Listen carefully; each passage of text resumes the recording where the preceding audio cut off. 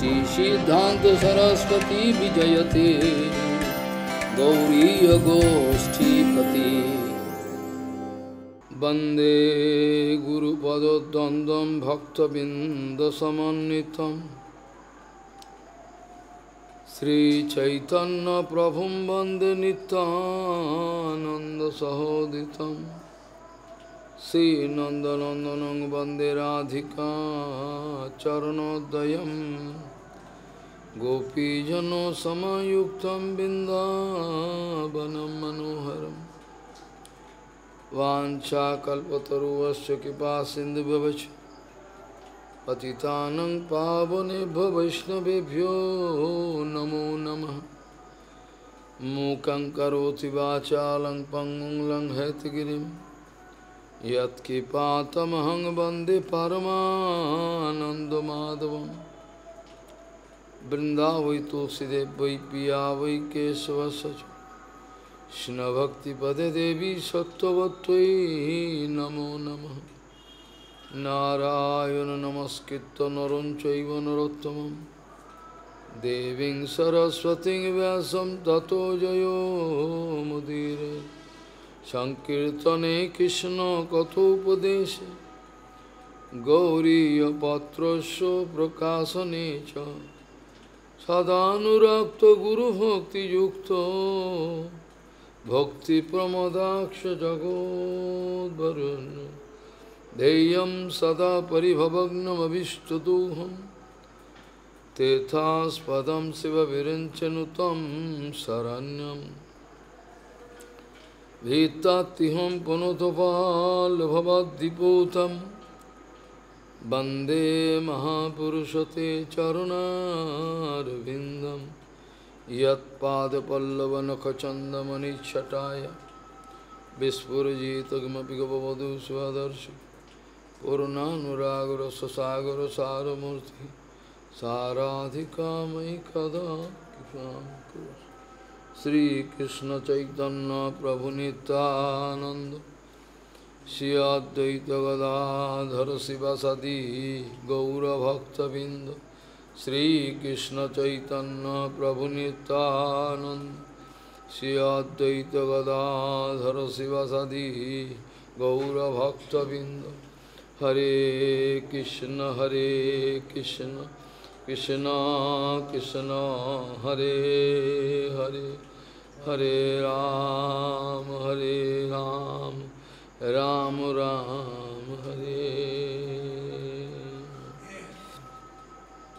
আজানুলম্বিত ভুজৌ কনকাবদাত সংকীর্তনৈকিতর কমলাক্ষ ভীষাম্বরৌ দ্বিজবরৌ যুগধর্ম পালৌ বন্দে জগৎপ্রিয় করো করুণাবধারো हरे कृष्ण हरे कृष्ण कृष्ण कृष्ण, हरे हरे हरे राम हरे राम राम राम, हरे।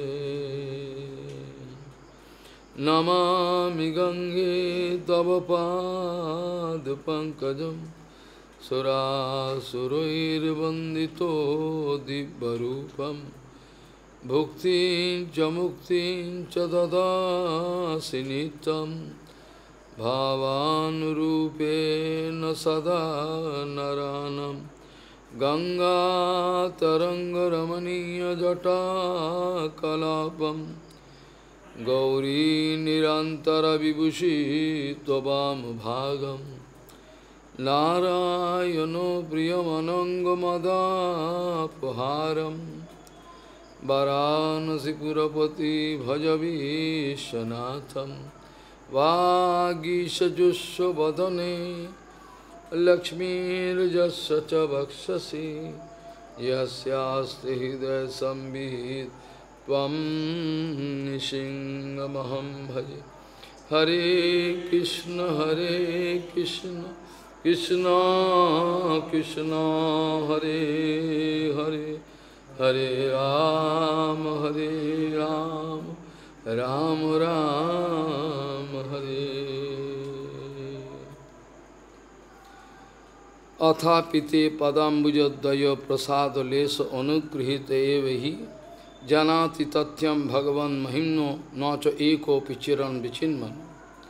अथापिते पदाम्बुज, पदाम्बुजद्वय प्रसादलेश अनुगृहित एव ही। জানাতি তথ্যম ভগবান মহিম্ন, নচ এক চিরণ বিচিনবান। গৌরীয় গোষ্ঠীপতি শ্রীশিল ভক্তি সিদ্ধান্ত সরস্বতী গোস্বামী ঠাকুর প্রহপাল পরমংশ জগৎগুরু জানিয়েছেন, সাধু, গুরু, বৈষ্ণব মানেই হলো তারা একটা ধারালো অস্ত্র, অর্থাৎ জ্ঞানের অস্ত্র নিয়ে দাঁড়িয়ে রয়েছে। যেসব বদ্ধজীব কোনো মতেই শুনতে চাইছেন না। তাদেরকে কোনো মতে বুঝিয়ে যে কোনোভাবে তাদের অন্নবিলাস, তাদের কামনা বাসনাকে যুবকাষ্টে বলি দেওয়ার জন্য দাঁড়িয়ে রয়েছে। তাদের যত কামনা বাসনা, দুর্গন্ধ, দূষিত চিন্তা, সেগুলোকে জ্ঞানের অস্ত্র দ্বারা এটাকে কেটে তাদেরকে মুক্ত করে দেবেন বলে তারা করুণাময় দাঁড়িয়ে রয়েছেন। গৌরীয় গোষ্ঠীপতি শ্রীশিলা ভক্তি সিদ্ধান্ত সরস্বতী গোস্বামী বহুপাত পরমাংশ জগৎগুরু জানিয়েছেন, সাধুগুরু বৈষ্ণব করুণাময়।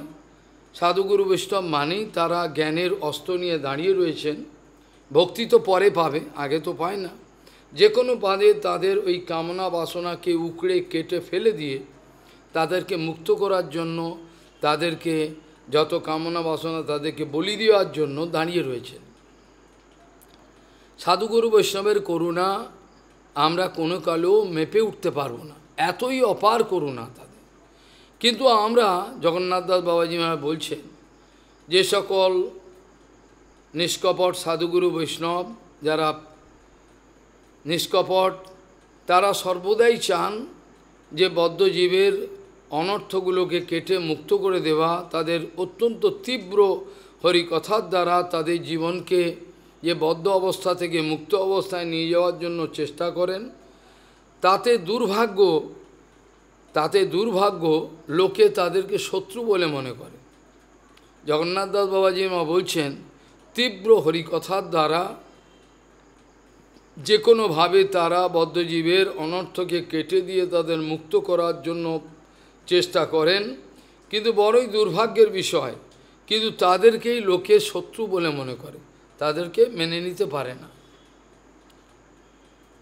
গুরু বৈষ্ণবের নিরন্তর চেষ্টা আমাদের মঙ্গল বিধানের জন্য, কিন্তু আমরা সেটা বুঝে উঠতে পারি না। আমরা সেটা জেনে উঠতে পারি না।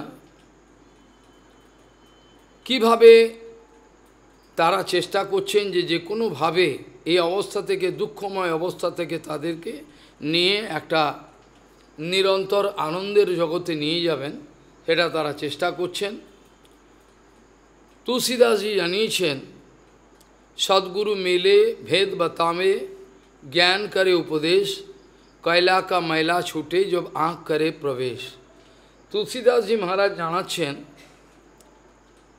সদ্গুরু মানেই হলো সে সবসময় নিয়ন্ত্রণ করবেন কোন দিকে তাকাচ্ছে কি করছে কি কেন সমস্ত বিষয়ে নজর রাখবেন। নজর রেখে এটা যে কত কঠিন কাজ, রেখে তাকে যে কোনোভাবে মায়ামুক্ত করে দেওয়ার চেষ্টা করবেন। তুলসীদাসজি বলছেন, সদ্গুরু যখন পাওয়া যায়, সদ্গুরু মিলে, তিনি তখন আমাদের তৎবস্তু এবং অতৎবস্তুর পার্থক্য বুঝিয়ে দেন। এটা জড়বস্তু, এটা মায়া ধরবে, তোকে মেরে ফেলে দেবে, তোকে গলা টিপে শেষ করবে, এখানে যাস না, এদিক কর। এইরকমভাবে সদ্গুরু মিলে ভেদ বাতাবে ভেদ মানে এটা তৎ, এটা এটা হচ্ছে জড়ো, এটা চিন্ময়। ওদিকে গেলে বন্ধন হবে, এদিকে গেলে সব সময় চেষ্টা করবেন সেই কথাগুলো জানাবার। এটাকে বলে ভেদ বাতাবে ভেদ মানে এটা তৎ এবং অতৎ। এটা তৎবস্তু। এটা কিন্তু এটা কিন্তু ছায়া। এটা কিন্তু ধোকা দেবে তোকে। এই জন্য তারা বলেন সদ্গুরু মিলে ভেদ ভাতা ভেদ মানে এটা তৎ, এটা অতৎ। এটা তৎবস্তু, এদিকে গেলে লাভ হবে। এরা অতৎ। সদ্গুরু মিলে ভেদ বাতাবে তিনি জ্ঞানের উপদেশ করেন। যে দিব্য জ্ঞান নিজের জীবনে তিনি পালন করেন, যা কিছু সেইটাই বলেন। নিজে পালন করেন না, অথচ ভাষণ দেন, এরকম করেন। সেই জন্য বলছেন ভেদ বাতাবে জ্ঞান করে উপদেশ। তিনি দিব্য জ্ঞান উপদেশ দিতে চান। অবশ্যই এটা সবাই নিতে পারে না।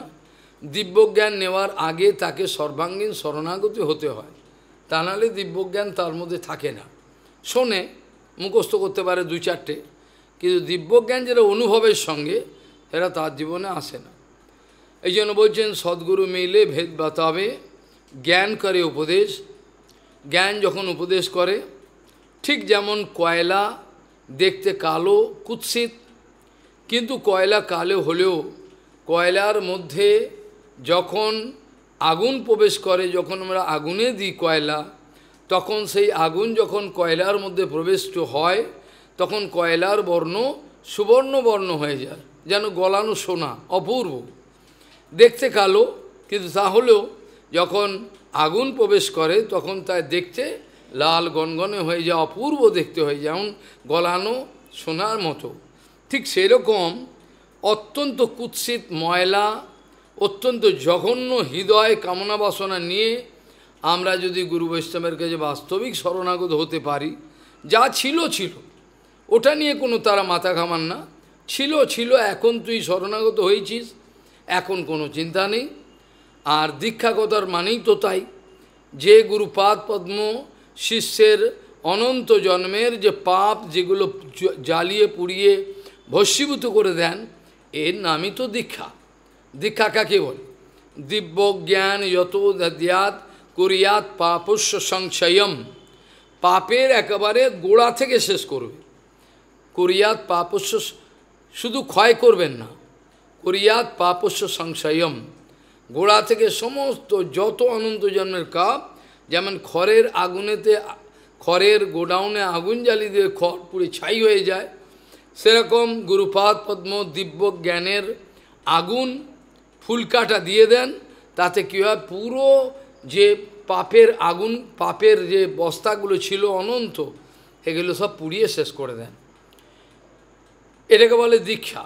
দিব্য জ্ঞান যত দদ্যাত কুরিয়াত পাপস পাপস্য সংশয়ম।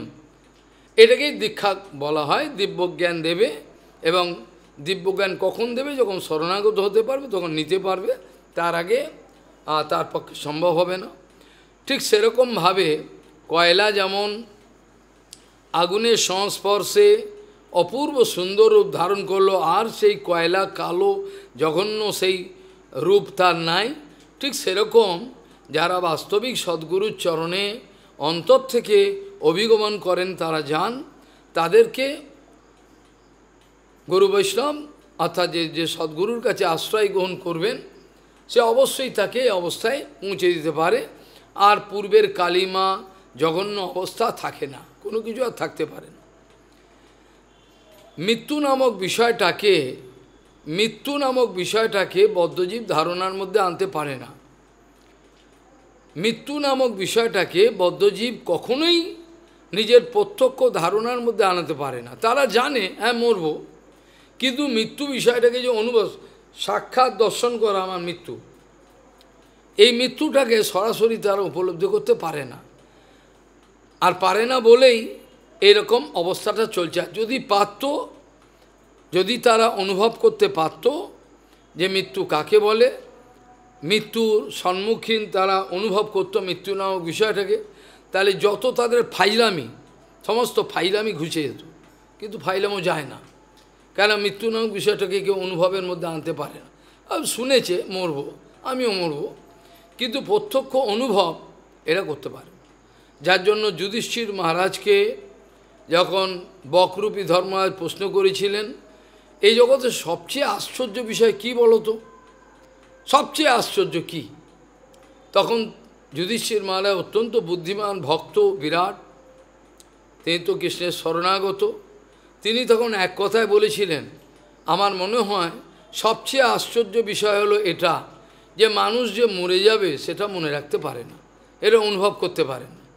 এমনকি তারা দেখছে, সমস্ত যাচ্ছে বল হরি হরি বল করে সব যাচ্ছে। তারপরও তেরা অনুভব করতে পারে না, আমি মরব, এটা প্রত্যক্ষ অনুভব আনে না।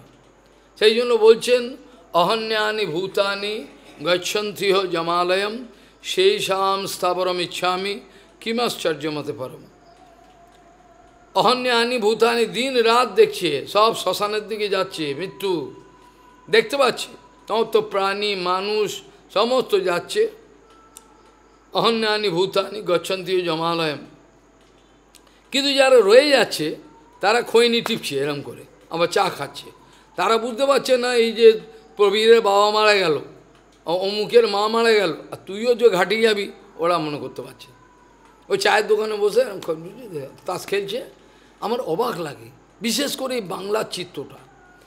এত জঘন্য পৃথিবীর কোনো দেশে নাই, বাংলার মতো উন্নত কেউ ছিল না। এখন সেই মেরুদণ্ডহীন বাঙালি কী অবস্থা? জঘন্য, যেখানে যাবে, পাড়ায় পাড়া সব চা খাচ্ছে। এই অবস্থা, এটা ছিল না কোনো সবচেয়ে ওপরে ছিল বাংলা, এখন সবচেয়ে নিচে। তাই যে বলছেন, অহন্যানি ভূতানি গচ্ছন্তি হো জমালয়ম সেই শাম স্থাবরম ইচ্ছামি কিম আশ্চর্য। এর চেয়ে আশ্চর্য বিষয় আর হতে পারে না। এর চেয়ে কী আশ্চর্য হতে পারে বলুন? সবচেয়ে আশ্চর্য এটাই। বগ্রবী ধর্মাজ বলল, ঠিকই, কথাটা ঠিক। অনেক মানুষকে বলবেন যে, আপনি ভজন করুন ভজন করলে আপনার তো মঙ্গল হবে, এরকম বোঝালেও তারা বুঝবে না। তারা বুঝতে চায় না। কোনো কথাই তারা শুনবে না। সমুদ্রের মধ্যে ঢেউ আছে, একটার পর একটা ঢেউ আছে। কেউ যদি ভয় পেয়ে বলে, সমুদ্রের ঢেউ আছে, আমি চান করতে পারব না। অনেকে বলছেন, সমুদ্রে চান করুন, এসছেন মহাতীর্থ। হরিদাস ঠাকুরকে এখানে করেছে পুরুষোত্তম। ও বাবা, ঢেউ। ঢেউ আমি চান করতে পারব। ঢেউ যখন কমে যাবে, তখন আমি চান করব। আর ঢেউ তো কমবেও না। ঢেউ কোনো দিন কমে কি? ঢেউ কমবেও না আর তোমার চানও হবে না। সেরকম তোমার সংসারের সমস্যা কোনো দিন যাবেও না। একটা না একটা সমস্যা তোমার আসবেই আর তোমার হরিভজন কাজ করবে হবে না। ঠিক এইভাবে প্রত্যেকটা মানুষ বঞ্চিত হচ্ছে। মায়ার দ্বারা বঞ্চিত হচ্ছে। তারা কোনো কিছুতেই অনুভব করতে পারছেন না, জানতে চাইছেন না। প্রপাত বলছেন, অনেক লোক আছে, দেখবেন, নিজের মধ্যে অনেক দোষ আছে, কিন্তু অপরকে সংশোধন করতে যায় অনেক লোক আছে, নিজের মধ্যে অনেক দোষ, নিজে অপরকে সংশোধন করতে যায় এমনকি চৈতন্য মঠের মধ্যেও এই ঘটনা ঘটেছে। দুজন সন্ন্যাসী প্রচার করেন, খুব চেহারা ভালো, লম্বা, চওড়া, কথা বলতে পারেন, খুব সুন্দর। তারা এক ব্রহ্মচারীর সমালোচনা করছেন এ কি পড়াশোনা জানে? কি করছে এখানে বসে বসে? কিচ্ছু করে না। প্রচারে যেতে পারে, কিছুই করে না। এরকম তার নিন্দা করছে। তারা জানে না ব্রহ্মচারীটা কী। ওই ওপর থেকে নিন্দা করে, যায় না বাইরে, প্রচার টাকা পয়সা প্রতিষ্ঠায় যায় না। এই কথা যখন সমালোচনা করছেন প্রভু আর লাইব্রেরি থেকে শুনতে পেয়েছেন। সিংহের মতো ছুটে এসে বলছেন যে সংশোধন করার কাজটা তো আমার দায়িত্ব পড়েছে। আমাকে তো আচার্যের কাজ করতে হচ্ছে তো। আপনি কেন ওইসব হাঙ্গামার কাজে, হাঙ্গামার ব্যাপারে দৌড়ে যান? আপনি কেন ওসব হাঙ্গামার কার্যে দৌড়ে যান কেন? আপনাকে তো অধিকার দেওয়া হয়নি। এটা তো আমার কাজ, আমি ওদের কার কি দোষ আছে না আছে আমি দেখব, দেখে তাদের কেউ যদি মানলো মানলো না, চলে গেল চলে গেল। কিন্তু আপনাকে তো অধিকার দেয়নি কেউ। এইভাবে পশু শাসন করতেন। আর ওই ব্রহ্মচারীর কি আছে গুণ, সেটা বহুপাত জানেন, অন্য কেউ জানেন না। বদ্ধজীব খালি দোষই দেখে কারোর মধ্যে যে গুণটা, সেটা দেখতে পারেন। খালি দোষটা বদ্ধজীবী একে অপরের দোষটা দেখতে পায়।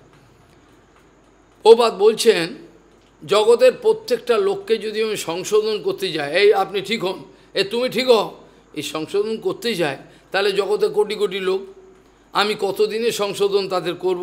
এটা তো সম্ভব হবে না। কাজে সবচেয়ে ভালো হয়, আমি যদি নিজেকে সংশোধন করি।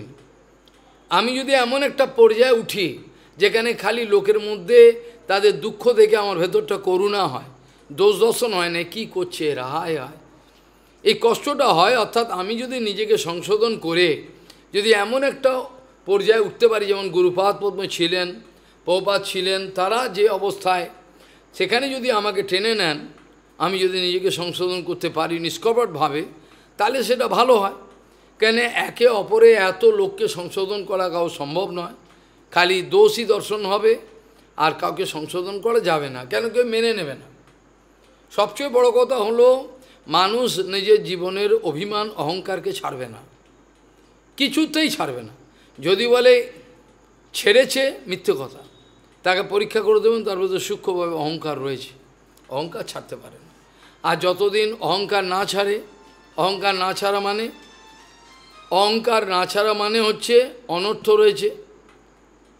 আমাদের যে আমাদের যে বন্ধন অবস্থাটা, এটা তো আমাদের বাইরে দেখতে পাই না বাইরে আমরা তো শেকল দিয়ে বাঁধা নেই।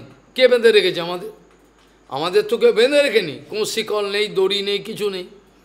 কিন্তু আশ্চর্য বন্ধন সেটা যে অন্তঃকরণের মধ্যে রয়েছে, এটা জানে না।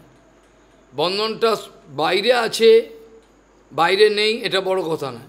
কি বন্ধন নেই যে হৃদয়ে আছে, অবিদ্যা, অস্মিতা, অহমিতা, মমতা, এগুলো সব হলো এক একটা করে অনর্থ, এগুলো শেকল দিয়ে বাঁধা রয়েছে। কিছুতেই খোলা যাবে না। এটা খুলতে গেলে হিতে বিপরীত হবে। কেউ যদি জোর করে দেখেছি আমি জোর করে, তা হরি কথা শোনে না। সে নিজের চরিত্র ভালো না, সে বুঝতে পারছে আমি পারছি না। সে কি করছে? নিজের জোর জবস্তি নিজেকে ঠিক করাচ্ছে, নিজেকে জোর করে। আমি এটা করব না, এটা দেখব না, এটা করব না। জোর করে করতে গিয়ে কি হলো? হিতে বিপরীত হয়ে গেল। সে জোর করে করছে। গোবর্ধন পরিক্রমা করছে দণ্ডবতী পরিক্রমা করছে। আমি যেখানে ভগবানের ইচ্ছে থাকতাম, গিরিরাজের তটে, সেখানে এলো। আমি বাবা, তুমি কি আমি চিনি তাকে। আগে বললাম, তুমি কি করছ? বলে, আমি ধন্যবাদ পরিক্রমা করছি। কেন? আমাদের তো গুরুবর্গ দণ্ডবোধ পরিক্রমা দেখায়নি, রূপ সনাতন কেউই করেনি। উগ্র তপস্যা আমাদের নিষেধ, তুমি করছ। বলে, কি করব, কাম ছাড়ছে না, ভয়ঙ্কর কাম। কিছুতে যা, আমি কাম ছাড়ার কি, এইটা রাস্তা? এটা কি রাস্তা?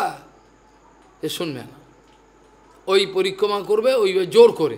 লাস্টে কী হয়, মাথা পাগল হয়ে যায়, বা কোনো দুর্ঘটনা নোংরামো করে বসে। এটা। অর্থাৎ নিজের চরিত্র, স্বভাব, মন আচার আচরণের যা আমার পূর্বে ছিল, তার উপরে কোনোরকম জোর জবস্তি করা যাবে না। জোর খাটাতে গেলে হিতে বিপরীত হবে। ওই জন্য সবচেয়ে সোজা রাস্তা হলো যারা ভালোবাসেন বাস্তবিক গুরু বৈষ্ণব, শুদ্ধ গুরু বৈষ্ণব, যারা জীবের কোনোদিন হিংসা করবেন না, তার কোন মরে গেলেও তার ক্ষতি করবেন না। এরকম শুধু গুরু বৈষ্ণবের কাছে থাকলে তাতে সুবিধা হয়। তারা তাহলে পার হয়ে যেতে পারে এই অবস্থাটা। তা নাহলে অন্য কোনো রাস্তা আর খোলা নেই জোর জবস্তি করলে পরে বিপরীত হবে। সেই জন্য ভাগবত শাস্ত্রে বলছেন, বুদ্ধিমান ব্যক্তি, এই জন্য বুদ্ধিমান ব্যক্তি কি করেন? তিনি সবসময় বুদ্ধিমান ব্যক্তি, যারা বাস্তবিক বুদ্ধিমান, তারা কি করেন? অত দুঃসঙ্গ মুৎসৃজ্য সৎসু সজ্জিত বুদ্ধিমান। বুদ্ধিমান ব্যক্তি যে কোনোভাবে অসৎসঙ্গ ত্যাগ করে সৎসু, অর্থাৎ সাধুগুরু ব্রাহ্মণ গোস্বামী মহারাজ, ভালো ভালো সাধুগুরু বৈষ্ণবের কাছে যাবেন। গুরু মহারাজ থাকলে গুরু মহারাজ প্রার্থনা করবেন। এইভাবে তাদের কাছে সৎসঙ্গ করবেন, অসৎসঙ্গ সে করবেন না। অত দুঃসঙ্গ মুৎসৃজ্য সৎসু সজ্জিত বুদ্ধিমান। কারণ সন্ত এব অশ্বচ্ছিন্দন্তি মনব্যাসঙ্গম উক্তিভি। সাধুগুরু সব কী করেন? মানে বৈষ্ণব সংগীত মন আনন্দিত অনুক্ষণ সদা হয় কৃষ্ণ পরসঙ্গ। আমরা সাধুগুরু কেন থাকব? না, ওরা বাজারের কোনো কথা বলে না। ওরা ওরা লাভ লোসকানের কথা, বাজারের কোনো কথা বলে না। সব সময় দুটো কথা বললে ভগবানের কথাই বলবেন। ওই জন্য বলছেন, বৈষ্ণব সঙ্গেত মন আনন্দিত অনুক্ষণ সদা হয় কৃষ্ণ পরসঙ্গ। কিন্তু সঙ্গে তো থাকলে তো অন্য তো থাকে না। লোক দেখানো শরীরটা সঙ্গে আছে, মনটা তো অন্য জায়গায়। সঙ্গে তো থাকে না। গুরুপাদ চলে গেছেন পৌপা চলে গেছেন। আমি যদি তাদের সঙ্গে নিরন্তর না থাকি, তাহলে আমার বাণী স্ফূর্তি হবে কী করে? আমার সেবা করা সম্ভব হবে না, কপটতা হয়ে যাবে তাহলে। এই জন্য বলছেন, অত দুঃসঙ্গ মুৎসৃজ্য দুঃসঙ্গ ছেড়ে দিয়ে সৎসু সজ্জিত বুদ্ধিমান। বুদ্ধিমান ব্যক্তি সর্বদাই বাস্তবিক সাধুসঙ্গ করবেন, কারণ শতাং প্রসঙ্গাদ মম বীর্য সংবিদ ভবন্তি হৃৎকর্ণ রসায়ন কথা তজ্ঞনাদ আশু অপবর্গবৎমনি শ্রদ্ধা রতির ভক্তির অনুক্রমিষ্যতি। এরা কপিলজি মহারাজও বলছেন, শতাং সাধুক প্রসঙ্গতে কী হয়? সর্বদা হরিকথা কীর্তন হয়। আর তাহলে সেটা হলে পরে আমার সেই, যদি আমি সেগুলো শুনতে থাকি তা আর তো কোনো রাস্তা নেই। আর অন্য কোনো রাস্তা নেই। একমাত্র হরিকথা, কীর্তন প্রভুপাত বলছেন, এটি রাস্তা। তর্জসনাথ আসু শীঘ্রই অপবর্গের দিকে চলতে চলতে শ্রদ্ধা ভক্তি, শ্রদ্ধা রুতির ভক্তির অনুক্রমিশ এইভাবে আমি ভক্তি লাভ করতে পারি অন্য কিন্তু সবচেয়ে বড় মুশকিল হলো, অসৎসঙ্গ কাকে বলে? মানে আমার যে নিরন্তর অসৎসঙ্গ হচ্ছে আমার যে মনে মনে নিরন্তর অসৎসঙ্গ যে বাইরেও হচ্ছে, এই অসৎসঙ্গতে কাটানোর কত আশ্বাস পাচ্ছে না। নিরন্তর অসৎসঙ্গ করে যাচ্ছে। মানুষে এবং প্রত্যক্ষভাবে সবসময় অসৎসঙ্গ সৎসঙ্গের পার্থক্যই বোঝে না। কোনটা অসৎসঙ্গ কোনটা সৎসঙ্গের পার্থক্যই বোঝে না। নিরন্তর অসৎসঙ্গ হয়ে যাচ্ছে। আর যেখানে নিরন্তর অসৎসঙ্গ হচ্ছে, সেখানে যদি কিছু কয়েক ঘণ্টা এই সৎসঙ্গ হয়, তাতে লাভ হয় না। এই জন্য বলছেন, সৎসঙ্গ মানে হলো, আমি প্রতিজ্ঞা করেছি, আমি অসৎসঙ্গ আর করব না। পৌপাত বলছেন, সৎসঙ্গ মানে আমি প্রতিজ্ঞা নিয়েছি, অসৎসঙ্গ আমি করব না। আমি সৎসঙ্গ করব, অসৎসঙ্গ করব, দুটো এ হয় না, এটা কোনো দিন হবে না। যার জন্য কোনো রাস্তা খুঁজে পাওয়া যাচ্ছে না। কোনো রকমভাবে কোনো রকম একটা রাস্তা যে, যেটা রাস্তা একটা মানুষ যদি চেষ্টা করে তারপর যদি একটু ফল পায় সামান্য, নিষ্কপটভাবে যদি চেষ্টা করে একটু ফল পায়। আর আমাদের বন্ধনটা তো দেখা যায় না। বিশ্বনাথ চক্রবর্তীবাদ বলছেন যে, কারুর বন্ধনটা হলো লোহার শেকলের বন্ধন, কারোর হলো রূপোর শেকলের বন্ধন, কারোর হলো সোনার শেকল কিন্তু বন্ধন তো সব একই। একটা পাখিকে কেউ লোহার শেকালে বাঁধলে যা কষ্ট হবে তাকে যদি রূপোর শেকলে কেউ বাঁধে তাতে যা কষ্ট হবে। সোনার শেকলে একই আমাদের হচ্ছে সেই অবস্থা। আমাদের হচ্ছে সেই অবস্থা। এই আমি সোনা আমার বেশ আছে, তা আমার হচ্ছে এটা কি? সোনার শেকলের বন্ধন। আমারও আছে বন্ধন। যদি আমার থাকে বন্ধন তার আমার সোনার শেকলের বন্ধন। আরেকজন ব্রহ্মচারী হয়তো রূপর শেকলের বন্ধন, আর যারা একেবারেই মাহাতো তার লোহার শেকলের বন্ধন।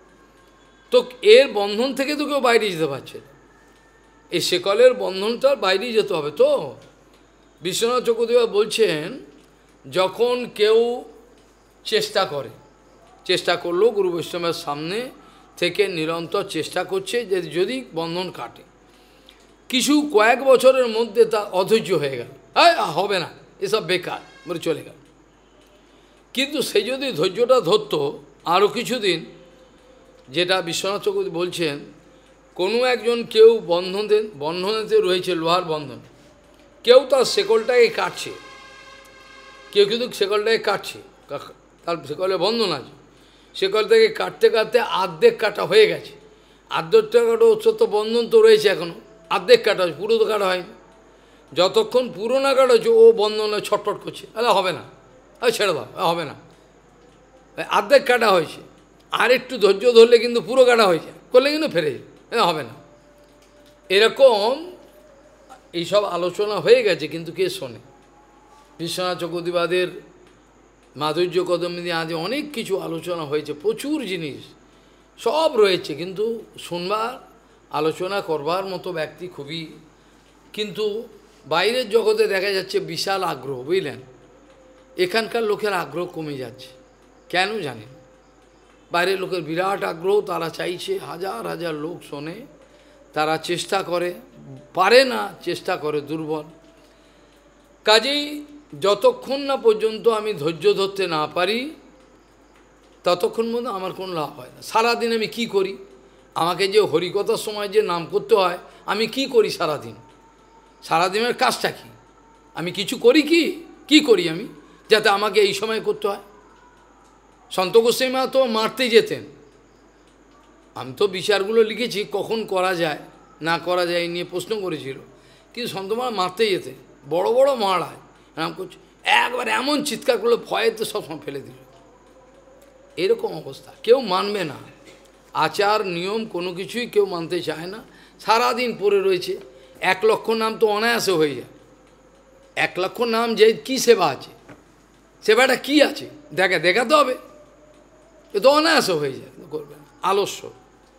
কিছু করার নেই, যা, যে যা পারে করবে, আর কিছু করার নেই। আমরা আলোচনা প্রসঙ্গে কালকে দেখেছিলাম কীভাবে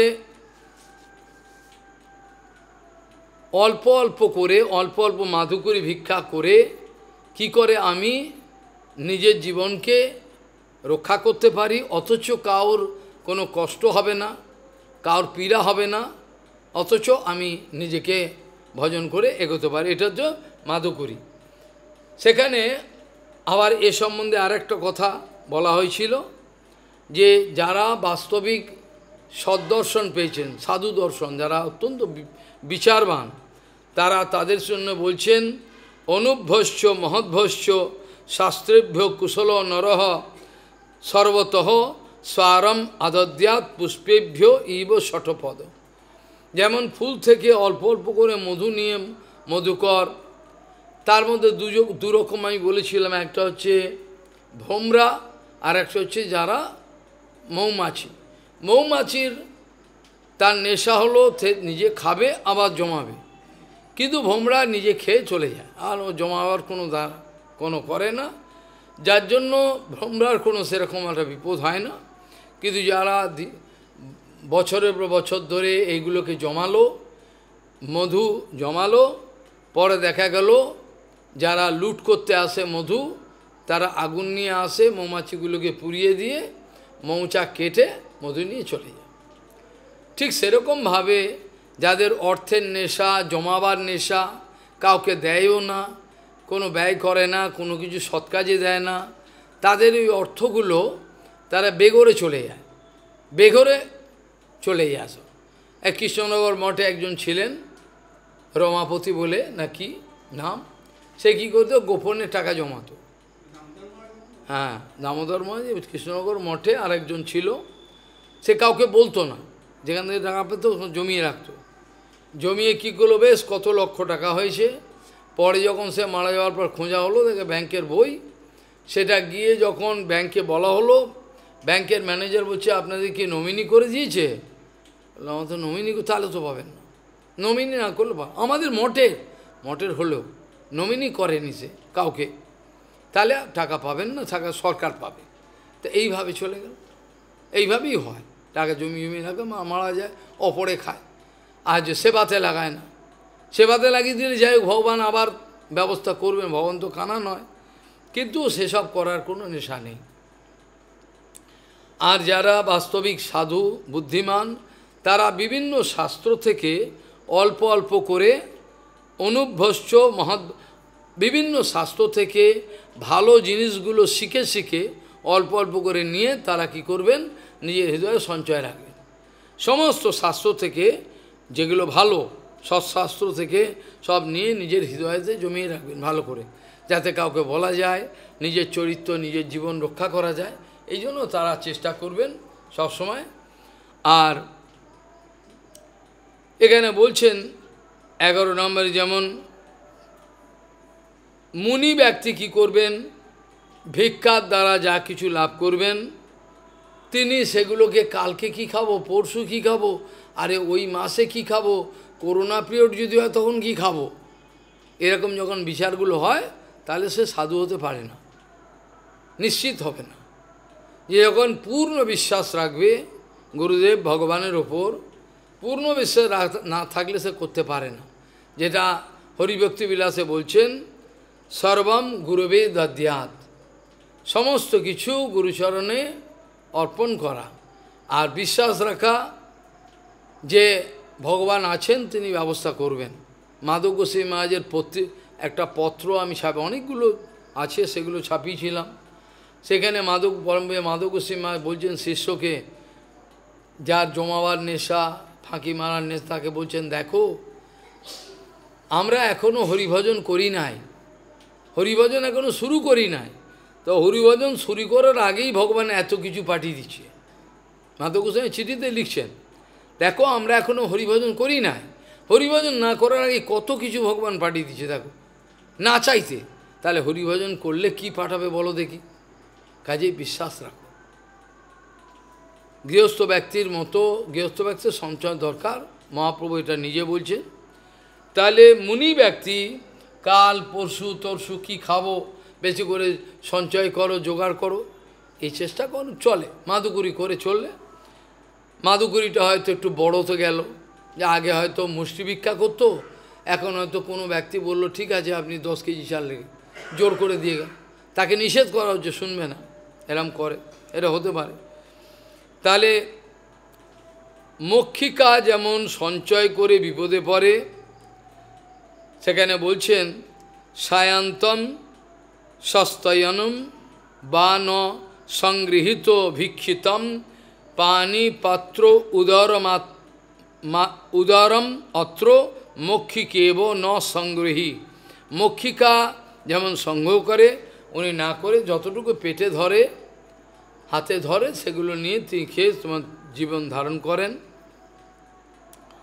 আর কালকের জন্য, সন্ধেবেলার জন্য, কালকের জন্য কি খাব, সেগুলো সঞ্চয়ের যাদের বৃত্তি থাকবে, সায়ন্তম, শশন্তম বা ন সংগৃহীত ভিক্ষুক মক্ষিকা ইব সংগৃহণ সহ তেন বিনস্পতি এখানে বলছেন, ভিক্ষুক সঞ্চয় করে রাখবার কোনো প্রয়োজন নেই। ভগবান আছেন, বিশ্বম্বর। বিশ্বম্বর, তিনি কাকে আহার যোগাবেন, কাপড় যোগাবেন, সবই তিনি করেন বিশ্বম্বর। সেই জন্য বলছেন যে জগতের দায়িত্ব নিয়েছেন বিশ্বম্বর, তিনি কোনো প্রাণীকে খেতে দেবেন, সবই করবেন তিনি। আবার দেখা যায় খাওয়া রেডি আছে, খেতে পাচ্ছেন, খেতে দিল না, তার পরিস্থিতি। তো হয়।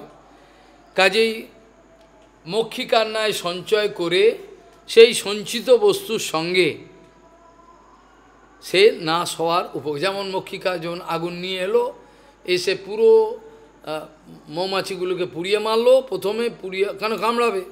ধোঁয়া, আগুন নিয়ে এসে পুড়িয়ে দিয়ে তারপর তাকে কি করল? সেখানে মৌচাক কেটে মধু নিয়ে চলে গেল। সেখানে বলছেন, যদি সংগৃহীত করে টাকা, কত উদাহরণ দেবো?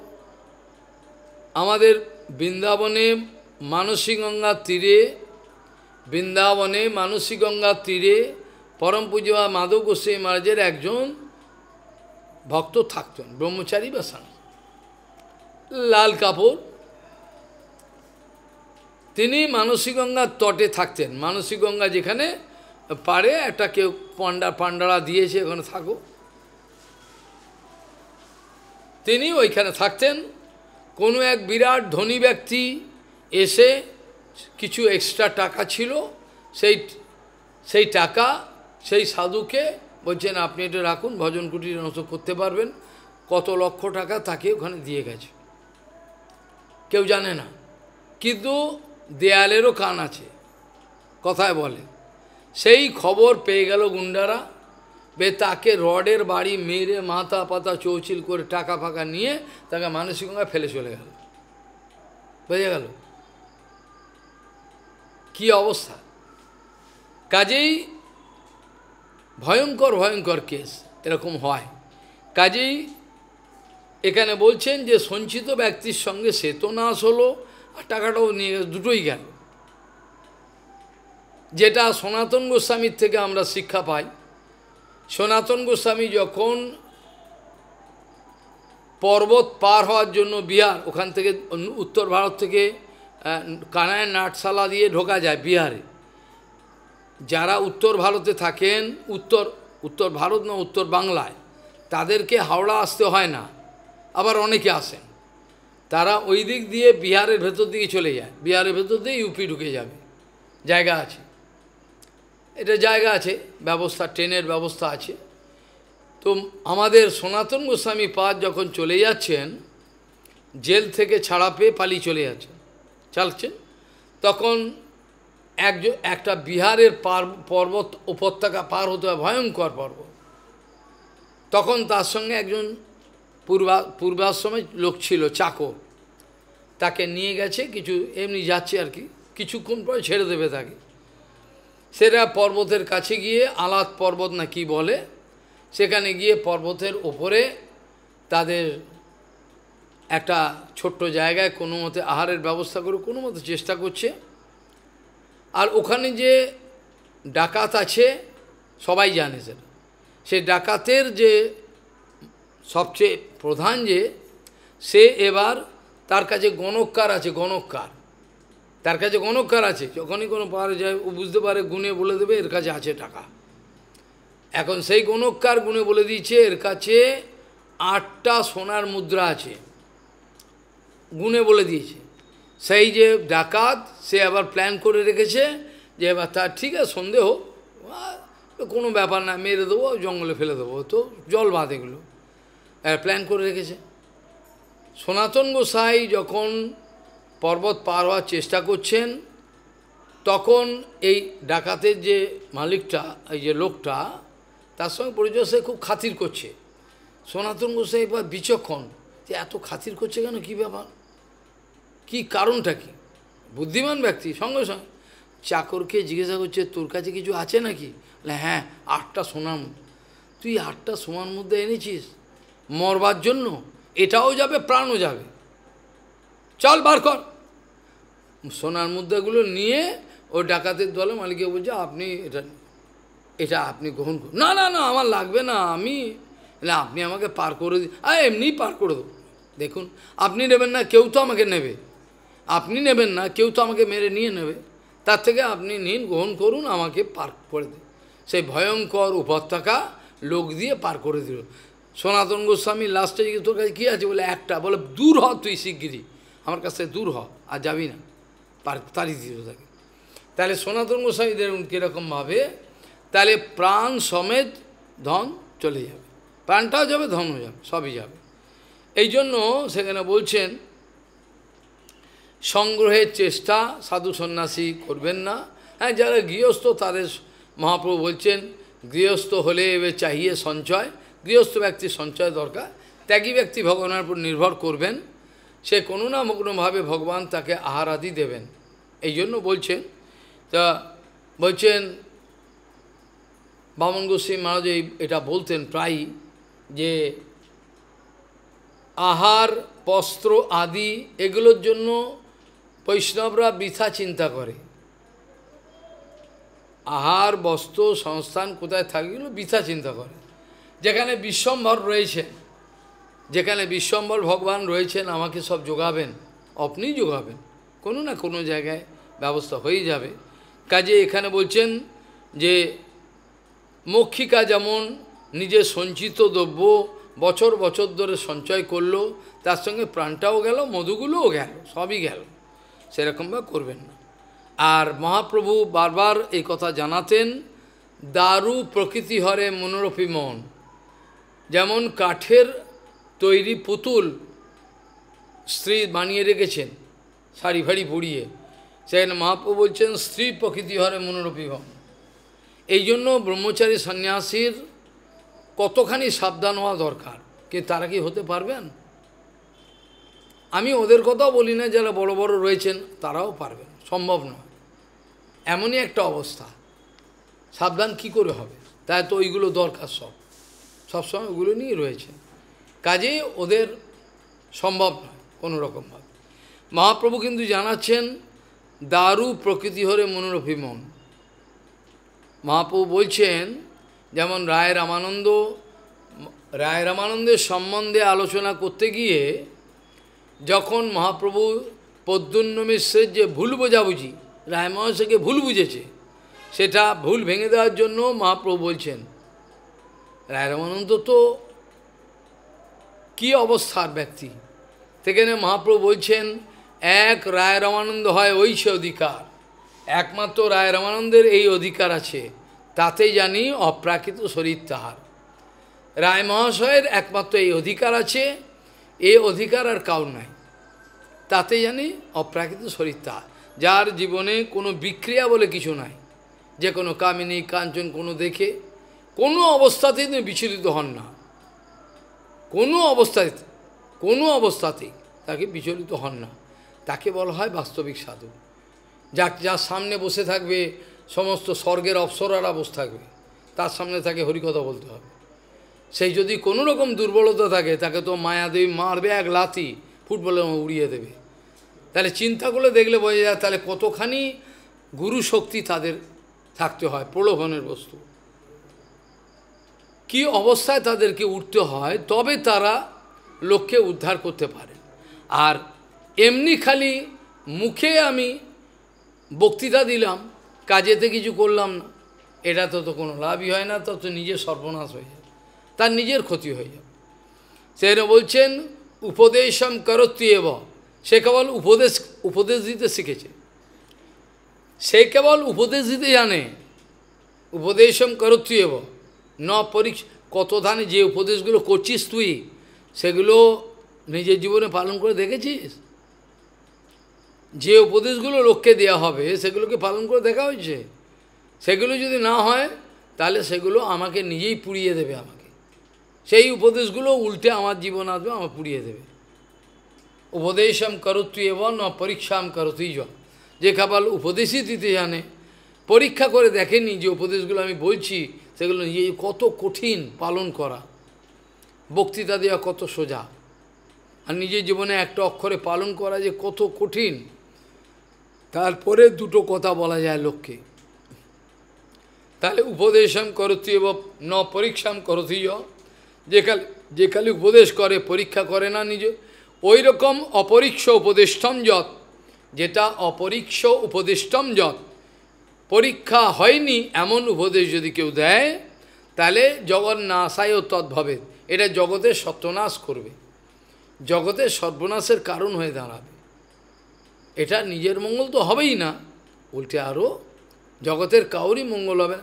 জগৎ নাশায় তদ্ভবে জগতের মঙ্গল দূরের কথা, জগৎকে সর্বনাশ করে দেবে। জগৎ নাশায় জগৎকে ধ্বংস করে দেবে। সেই জন্য যারা মহাজন, তারা বলেন আমাদের কর্তব্য পড়েছে, তাই তোদের কাছে বলছি, সমস্ত শাস্ত্রের কথাগুলো আমার জন্য। বাবন গোস্বামী বলতেন, এই শাস্ত্রের জল লেগে সব আমার জন্য, আমাকে পালন করতে হবে। তোরা পালন করবি না করবি তোদের ব্যাপার। আমি জেনে নিই এই শাস্ত্রের কথাগুলো আমাকে পালন করতে হবে। কেউ পালন করল, না করল, কপটতা করল করল, সে তার নিজের কর্মফল ভোগ করল। শাস্ত্রের লেখাগুলো আমার জন্য, আমি ধরে নেব। কিন্তু এখন উল্টো শাস্ত্রের লেখাগুলো আপনার, তোমাদের জন্য, আমার জন্য না। আমার জীবনে শাস্ত্রের লেখাগুলো, এগুলো তো আমি তো নিজেই বড় সাধু। আমার জন্য তো নয়। আমার জন্য কে বলল? অপরকে লেখ? তোমাদের জন্য। শাস্ত্রের কথাগুলো আমার জন্য, আমি তো বড় সাধু। এটা বর্তমান। আর আগেকার আমাদের গুরুবরু কি বলতেন? শাস্ত্রে যা লেখা আছে বাবা, সব আমার জন্য।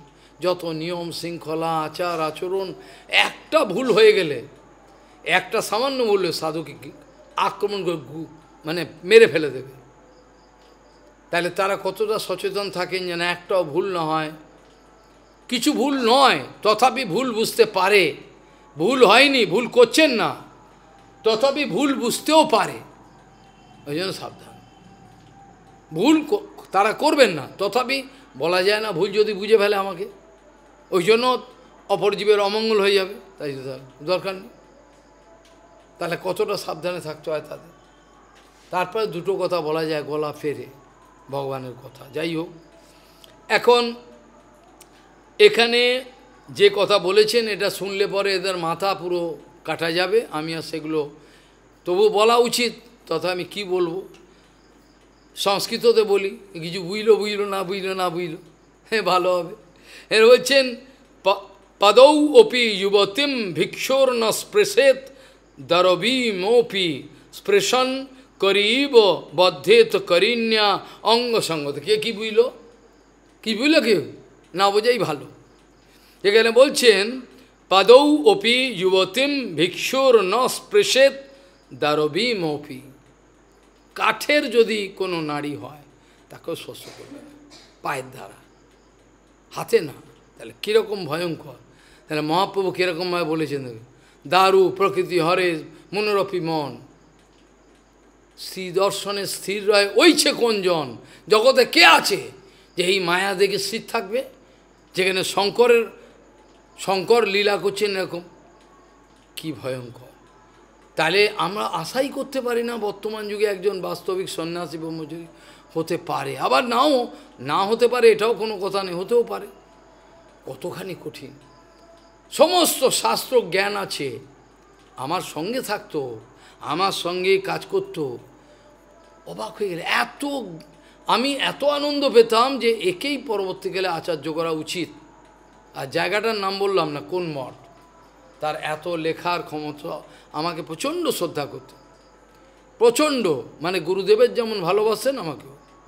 গুরুদেব চলে যাওয়ার পর বলতেন, কোথায় যাব? খালি মনে পড়ে আপনার কথা। কিন্তু পরবর্তীকালে গেল, ফেসে গেল। মাথা খারাপ হয়ে গেল। একটা এরকম ছেলে এখন পুরো পৃথিবী জুড়ে খুঁজে ফেলল আর পাবো না। একটা। একটা আমি দুটো বলছি না, একটা। এত বড় কথা বলছি। এত আমার গর্ব হতো বা দাদা, ভালো হলো, বিরাট ব্যাপার। এ তো হয় না। এ তো হয় না, কি করে হলো? অন্য ভাষা জানে না বাংলায় মোটামুটি, বাংলা সংস্কৃত জ্ঞান। কিন্তু এত সুন্দর জ্ঞান, তার এত সুন্দর লেখনীর বাঁধন, সমস্ত বিচার এত পারফেক্ট মানে এ তৈরি হবে। কিন্তু কপাল পরবর্তীকালে ফেঁসে গেল। মায়াদেবী কি? মানে চুল ছিঁড়তে ইচ্ছে করে। এরকম একটা ছেলে সারা পৃথিবী জুড়ে, বর্তমানে পৃথিবীর যা পরিস্থিতি, সারা পৃথিবী জুড়ে এরকম একটা ছেলে পাবো না। চিন্তা করা যায়, আমার যা ক্ষতি হয়ে গেল, আমি চিন্তা করি মাথা আমার, আমি আর আর তো আর কাকে করব? এত লোকে চোখই দেখছি না। একটা কিছু যেও টুকটাক থাকে তাদের কুঁড়ে। তারা করবে না। যেও টুকটাক কিন্তু বুদ্ধি আছে, দু একজন আছে তার তৈরি করা যায়। কিন্তু তাদেরও কি তারা হবে। এটা আমারও কোনো কোনো অভিমান নেই আমি কাউকে তৈরি করব। আমি নিজেকে তৈরি করতে পারলেই বাঁচি। এটা অভিমানের কথা নয়। তথাপি প্রদীপটা যেন জলে প্রদীপটা যেন নিবে না যায়। যা অবস্থা দাঁড়িয়েছে। চেষ্টা করে দেখা যাক কি হয়। কিন্তু বাস্তবিক আনুগত্য না থাকলে কেউ কোনো দিন হতে পারে এরা ধ্রুব সত্য কথা যত ব্রেন থাকুক, সব নর্দমায় চলে যাবে, নর্দমায়, ড্রেনে। যতক্ষণ না শরণাগতি হবে, কাঁটায় কাঁটায়। গুরুদেব বলেনি, কি বলতে চাইছেন সঙ্গে সঙ্গে বুঝে নেবে। গুরুদেব বলেনি কিন্তু আদেশ বুঝতে পারছি, গুরুদেব এইটা বলতে চাইছে। অন্তর থেকে বুঝে নেয় বিশ্বনাথ চক্রবর্তী বলেছেন, কাউকে আদেশ করলেও করে না, কাউকে আদেশ করলে একটু করল হ্যাঁ সামান্য করল। আবার আদেশ করার পর তাকে আদেশ করা হলো, সে আবার অন্যকে যে এই গুরুদেব বলছে এটা করে দিত ওকে আদেশ করল, ও আবার ওকে বলল, ও কর। ও নিজে করল। আর এরকম ধরনের ব্যক্তি তো সুদূর্লভ বর্তমানে নাই, যিনি গুরুদেব কী চান তার অন্তরটা বুঝতে পারেন। এরকম শিষ্য হলো, কোটি কোটির মধ্যে একজনও হয় না। গুরুদেব কি বলতে চান? গুরুদেবের বাঞ্ছাটা কি? কী চান? তিনি দেহ রাখবার পর কি করলে তিনি খুশি হবেন? আমি গুরুদেবের কথা ছেড়েই দিলাম। জড়জগতের একজন কবি। আমি গুরুদেবের কথা ছেড়ে দিই তো অপ্রাকৃতিক জগৎ। জড়জগতের যে কবি রবীন্দ্রনাথ ঠাকুর, তিনি কি বলেছেন? মরবার আগে এই একই কথা বলছেন। যে আমি যে এতদিন যেগুলোকে আমি করে এলাম আমার যে মনের ভাবটা, যেভাবে প্রকাশ করে এলাম লেখার মাধ্যমে, কবিতার মধ্যে, গানের মাধ্যমে, এমন কে কেউ আছে যাকে আমি এই, আমি দায়িত্ব দিয়ে যাব? এইটি তো বললেন। বাঁশি তোমায় দিয়ে যাব কাহার হাতে? আমার রাত পোয়ালো। এই গানটা তো তিনি গেয়েছেন। রবীন্দ্রসঙ্গীত। তো এই জড়জগতের উদাহরণ দিয়ে বুঝিয়ে দিলাম। বাঁশি তোমায় দিয়ে যাব কাবার কাহার হাতে? আমার তো রাত পোয়ালো। কাজে সব সদ্গুরু বৈষ্ণব দেখবেন তাদের খালি ভেতরে একটা চাপা, একটা একটা চিন্তা থাকে। ওটা উদ্বেগ নয় যে কাউকে অন্তত দু চারজনকে রেখে যায় জগতে যারা এই আলোটাকে জ্বালাতে থাকে। কিন্তু যোগ্য ব্যক্তি নাই। আবার যো সামান্য যোগ্য গুরুদেবের যদি আনুগত্য করে, যোগ্যতা এসে যাবে। যোগ্যতা বিচারে কিছু নাই পায় কিন্তু করবে না। তারা করবে না, তারা প্রতিজ্ঞা করেছে, তারা করব না আমরা। তো কী করবে? তাদের যতদিন কপাল আছে, করবে। হবে না। আনুগত্যহীন ব্যক্তি কিছু করতে পারে না। গুরুদেবের পূর্ণ শক্তি শিষ্যের মধ্যে একটু কম নয়। এত বড় কথা বলছি গুরুদেবের পূর্ণ শক্তি শিষ্যের মধ্যে আসতে পারে। আসতে পারে। কিন্তু যদি সেরকমভাবে গুরুদেবের সঙ্গে সম্বন্ধ থাকে। কেশব গোস্বী মহারাজ বহুপাত কম শক্তি পেয়েছিলেন। কি অপূর্ব শক্তি, কি তার লেখা, কি তার বিচার ক্ষমতা গুরু ভাইরা অবাক হয়ে যেতেন। বাহ, বেদান্তের এত সুন্দর বিচার কোথা থেকে এলো? প্রপাদের কৃপাতে বিদ্যামিনোদ প্রভু, তো বিনোদ হয়ে গেলেন। তার যে বিচারগুলো কোথেকে এলো? বহুপাদের কৃপাতে ক্ষমতাগুলো কোথা থেকে পেয়েছে? সব গুরু থেকে। আমি কোথেকে পেলাম গুরু? আমি তো সায়েন্স এলাম, কিছুই আমি সাহিত্যের কিছুই বুঝি না। কিছু বুঝি? কোনোদিন পড়েছি? দর্শন শাস্ত্র পড়েছি কিছুই না। গুরুদেবের কৃপা এমনই গুরুদেব কৃপা করে দিল গুরু কৃপা তো সব হয়, আমার ক্ষমতাতে কিছু হয় না। এটা বোঝা দরকার, যারা বাচাল বোঝে না। কাজেই পদাপি পদৌ অপি যুবতীম ভিক্ষোর ন স্পৃশেত দারবি মৌপি স্পৃশন করিব তো করিণ্যা অঙ্গ সঙ্গত। আমি হাতির থেকে, মধুকরের থেকে ব্রহ্মদেব সব শেখা হয়ে গেল। সন্ন্যাসী যারা সাধু, তারা এইভাবে জীবন মুনি তারা এইভাবে জীবনযাপন করবে। রামচন্দ্র তো কী করতেন? রোজ ফল তুলে নিয়ে আসতেন আর লক্ষণও আনতেন, এসে সেটা পেতেন, রোজই আনতেন, জমিয়ে রাখতেন না। রামচন্দ্র রোজ আসতেন জঙ্গল থেকে লক্ষণ রাম জঙ্গলে ফল তুলে নিয়ে আসতেন, এসে সীতাদেবীকে দিতেন, এইভাবে। কারণ তখন তো তিনি জঙ্গলে জীবনযাপন করছেন না, সব তো ছেড়ে দিয়েছেন। বনবাস, সন্ন্যাসীর মতো। তো ভালো। যে এখানে বলছেন, হাতির থেকে আমি এ সুন্দর একটা শিখেছি। হাতি তার স্পর্শ সুখ পেতে চায় খুব। এই জন্য হাতির কপাল পুড়ে যায়। হাতি কি করে? হাতিকে ধরবার জন্য যারা হাতি ধরে, শিকার করে, তারা কি করে? তার একটা বড় একটা বিরাট গর্ত করে। গর্ত করে ওটা লতা পাতা দিয়ে, বাঁশ, বাঁশের কঞ্চি বঞ্চি দিয়ে এমন করবে যেন মাঠ ওটা, বুঝতেই পারবে না কিছু। কোনো বুঝবার উপায় নেই যে এটা যে একটা গাড্ডা। সে কী করল? এবার একটা হস্তিনীকে কি করল? হাতির কাছে এগিয়ে দিল। সে কী করল? হাতি এবার হোসেনে ছুটিয়ে ওকে শেখানো আছে ট্রেনিং দেওয়া। হস্তিনী কী করল? হস্তিনী কী করল? এরমভাবে ঘুরে হস্তিনী তো জানে, এখানে গর্ত আছে, এখানে ঘুরে ওদিকে হতি দেখলে এত ঘুরে যাব ওখানে তো সোজা গেলে আমি ধরে ফেলব। তাড়াতাড়ি করে ও যাক বোকা, এনে সোজা যেতে গেল। সোজা গিয়েই ব্যাস, গর্তেতে পড়ে, আ, ব্যাস, আটকে গেল। আর উঠতে পারবে না, ভারী ছড়ি কোথায় পালাবে? তারপর ওকে ধরে নিয়ে কাজে লাগে তাহলে সেখানে অবধূত সন্ন্যাসী বলছেন, হাতির থেকে আমি জবরদস্ত সেই শিক্ষাটা শিখেছি। যে কী ধরো কিছুই নয়। স্পর্শ সুখের আশায় দৌড়াচ্ছে আর শেষে কী হলো? নিজের বিপদ নিজে দিকে এলো। এইভাবে নিজের বিচ্ছেদ নিজের বিপদ নিজে দিকে নিয়ে এলো। কিছু করার থাকে না। সেখানে বলছেন, নাধিগাচ্ছে শ্রিয়ম প্রাজ্ঞ করহিজিত মৃত্যুম আত্মানহা যদি কোনো কেউ পাল্লায় পড়ে কামিনী কাঞ্চনে তাহলে যেন যেন বুঝে রাখে, সে যেন চিন্তা করে। যে ব্যক্তি কামিনী কাঞ্চনে পাল্লায় পড়বে, সে যেন জেনে রাখে, এই যে যেমন হাতি ধরবার জন্য ফাঁদ করেছিল, ফাঁদ এরা বুঝতে পারবে না, সেরকম এই সব প্রলোভনের বস্তুগুলো আমার আত্মার অধপতনের কারণ, আমার মৃত্যুর কারণ হয়ে যাবে। সেখানে বলছেন না অধিকাচ্ছে স্ত্রীয়ম প্রাজ্ঞ করহিচিত মৃত্যুম আত্মন নিজের সাক্ষাৎ মৃত্যুর ফাঁদ, সাক্ষাৎ মৃত্যুর ফাঁদ, এটা ভাব আর যদি সেরকম সাধু হয় ক্ষমতা, সে তো অন্যরকমভাবে চিন্তা করবে, সে উদ্ধার করবে, যেমন হরিদাস ঠাকুর করেছিল। তার তো আর মৃত্যুর ফাঁদ নয়।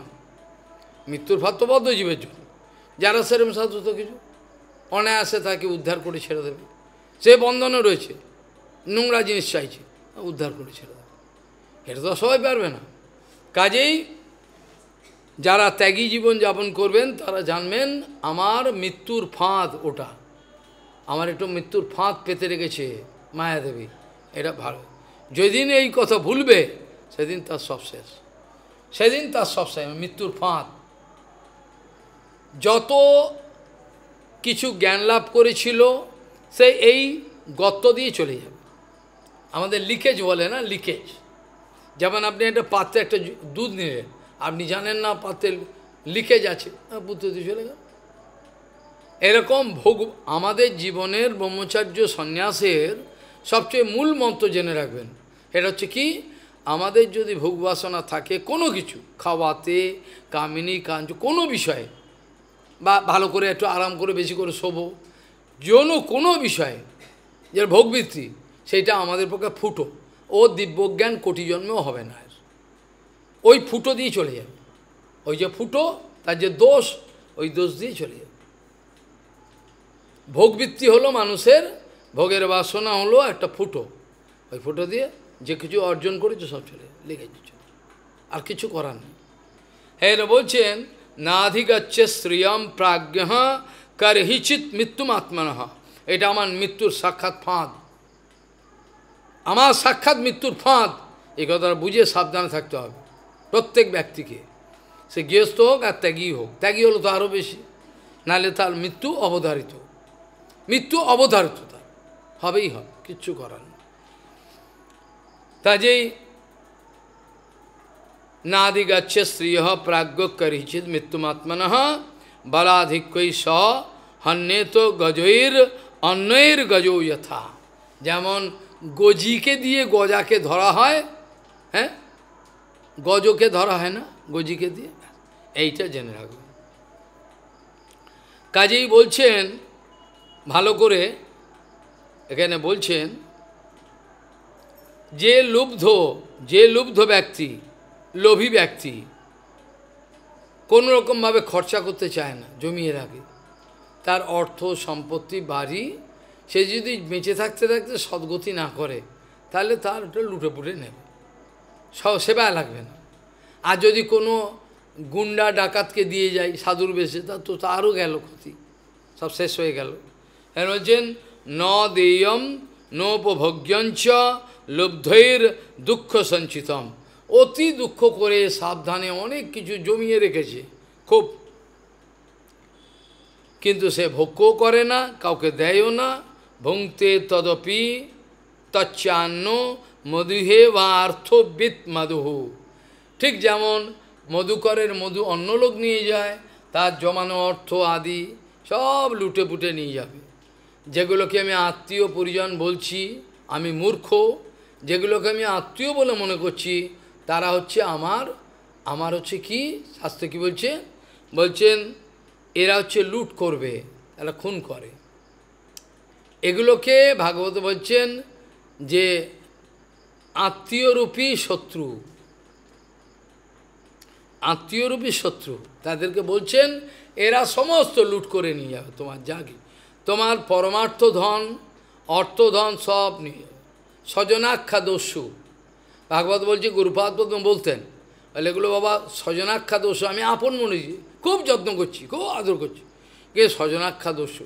আমার জীবনের অর্থ তো গেলই, অর্থ তো সামান্য গেল। অর্থ ক্ষতি হওয়া মানে সামান্য, কিন্তু পরমার্থ চলে গেল। অর্থমান অর্থম, ভাবয় নিত্যম সব নিয়ে। আমার যতটুকু অর্জন করেছিলাম, সব নিয়ে চলে গেল, সব শেষ। পরমার্থ চলে গেল। অর্থ, পরমার্থ সব নিয়ে চলে গেল, লুটে। কাজে আমি মনে করছি আত্মীয়, কি তারা যে আত্মীয় নয়, এরা যে আমার স্বজনাখ্যা দস্যু ভাগবত বলছেন আচ্ছা স্বজনাক্ষা দস্যু এরা। কাজেই ন দেয়ম নোপভোগ্যঞ্চ লুব্ধের ইয়াদ দুঃখ সঞ্চিতম, ভুংতে তদপি তচ্চান্ন। অন্য লোকে সেগুলো ভোগ করে। সে তো করেই না, ভগবানের সেবাও লাগে না। মধু হে বা অর্থ বিত মধু। মধু সংগ্রহকারী সব নিয়ে চলে যায়। মধুকরের যে তাকে জ্বালিয়ে পুড়িয়ে আগুনে পুড়িয়ে মেরে ফেলে দিল, বাকি মধু কেটে নিয়ে চলে গেল। এখানে বলছেন এইভাবে, যেমন মুখ্য আমাদের কিন্তু অন্য লোক সবসময় তাই জন্য যেসব ব্যক্তি, তাই জন্য যেসব ব্যক্তি নিশ্চিত পরিমাণে নিজের মঙ্গল চান, আগে নিজের বুকে হাত দিয়ে বলতে হবে। আগে নিজের বুকে হাত দিয়ে বলতে হবে, আমি নিজের মঙ্গল চাই। এই কথাটা বলতে হবে, এটা বলতে পারবে না কেউ। তীর্থ মহারাজ চিৎকার করে বলতে এরম করে। কেউ আছে বলবে, ভগবানকে চাই, বল। কার সাহস আছে? শুয়ে বল শালগাম ছুঁয়ে আমি ভগবানকে। তীর্থ মহারাজ বল সভাতে, চিৎকার করে বলতে। কই নেই চাতা ভগবান কো পাঞ্জাবিদের বলতে, চিৎকার করে। কেউ নাই চান না, সব মিথ্যা ঝুঠা ভগবানকে চায় না, ভগবানের থেকে চায়। ভগবান কে চায় না? ভগবান আমাকে টাকা দাও, পয়সা দাও, প্রতিষ্ঠা দাও। আরে ভগবান প্রতিষ্ঠা দেওয়ার হলে এমনিতেই দেবে। সারা জগতের লোক প্রতিষ্ঠা দেবে না, মেরে শেষ করে দেবে। ভগবান প্রতিষ্ঠা? বৈষ্ণবী প্রতিষ্ঠা তো নিত্যানন্দ বলরাম দেয়। সারা জগতের লোক আপনাকে হিংসা করে প্রচার করতে দেবে না, কিছু করতে দেবে না। আপনাকে মেরে দেবে, আপনার ব্রেন দেখেছে, আপনার ভক্তি করতে দেবে। কিন্তু বলরাম চাইলে তো তোরা পারি বলরাম যদি চায় তো তো আটকাতে পারবি না। মাধবেন্দ্র পরিপাতকে প্রতিষ্ঠা চেয়েছিল যে মেঘের দর্শন করলে পরে অজ্ঞান হয়ে পড়ে যায়। কালো একটা মেঘ দেখলে পরে কৃষ্ণ বলে পড়ে যায়। এরকম ভক্তি। খালি আকাশের একটা কালো মেঘ দেখলে পরে হয়ে গেল, কৃষ্ণ বলে পড়ে গেল। বুঝে গেল?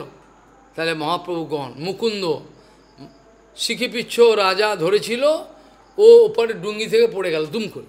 রাজা বলে, কী হলো তোমার? পড়ে গেল কেন? চিকিৎসা করতে বৈদ্য। বলে, আমার একটা মিগরি রোগ মির্গি রোগ আছে। রাজাকে রাজাকে লুকিয়ে চলছে। বলছে, আমার একটা মিঘি রোগ আছে, আমি মাঝে মাঝে পড়ে যাই। রাজা বলছে, তা হতে পারে না। কিছু একটা ব্যাপার যে এ নিজেই বৈদ্য। রাজা বুঝতে পারল। রাজা জানে, এই যে কিছু হতে পারে না। মুসলমান রাজা বুঝতে না, এতে বলছে না ঠিক করে। এটা ভক্তি। মা, যেমন ধরুন আমাদের পুণ্ডরিক বিদ্যানিধি কেবল একটা শ্লোক মাত্র বলল, বরে হা পীর সঙ্গে সঙ্গে কী হলো? মূর্ছাকে চোখ খাটের ওপর থেকে পড়ে গেল। দুধের মতো দুধের মতো ফেনা, এত সুন্দর। এই হচ্ছে বিছনা, তুলো কত দামি, ভেলভেটের, চাঁদোয়া আর সোনার পান পিকদানি, পান খাচ্ছে এঁকসি পাচ্ছে, ফেলছে। চিন্তা করুন, সোনার পিকদানি আর ঝালট লাগানো, ভেলভেটের বিরাট চাকরে হাওয়া দিচ্ছে, রাজার মতো পাঁচবালি শ্যাম কিন্তু ভক্তি কাকে বলে? আমরা কি ভাবতে পারব? ওর ভক্তি হতে পারে? ধর মশাই, এর ভক্তি হয় নাকি? গদাধর পণ্ডিত কি করল? ভুল বুঝলো না? লীলা করলেন। গদাধর পণ্ডিত আর ভুল বুঝতে পারেন এ আবার কি ভক্তি রে বাবা? হ্যাঁ? ভুর ভুর করে গন্ধ বেরোচ্ছে, তেলের মাথায় এরম ব্যাক ব্রাশ, পাঞ্চি বচ্ছে, সোনার চেন, এরম করে গিলে করা পাঞ্জাবি জামাইয়ের মতো। গদাধর পণ্ডিত বুঝতে পারল না। এই মুকুন্দ বলল, চলো একটা বিরাট বৈষ্ণবকে দেখি। এই কি বিরাট বৈষ্ণব নাকি? হ্যাঁ? এ না দেখলেই ভালো ছিল। এ এসে বরং যে বিপদ হলো, এ কি দেখছি রে? ব্যাস হয়ে গেল। সঙ্গে সঙ্গে মুকুন্দ বুঝতে পারল, গদাধর চিনতে পারিনি। মুকুন্দ বুঝতে পারল, গদাধর লীলা করেছেন। গদাধর তো সাধারণ রাধারানী। গদাধর বুঝতে পারেনি।